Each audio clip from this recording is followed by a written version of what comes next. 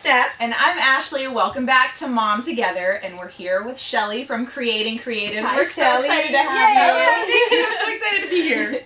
Shelly has an online blog with arts and crafts, and with the holiday season around the corner, Yes. she has an ebook, a free A ebook for you, free- you, you, yes, you, you, Go check it out. about her lovely Christmas tree ornaments. And today we're going to show you how to do so.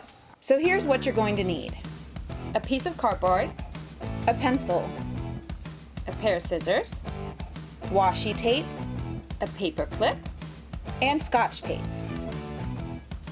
Get creative. Add some feathers, pom poms, and don't forget the glitter. Right. So let's get started. Which ones Yeah. are we making? Uh, we're gonna make the letter H. Awesome. Yay! Holiday! Okay,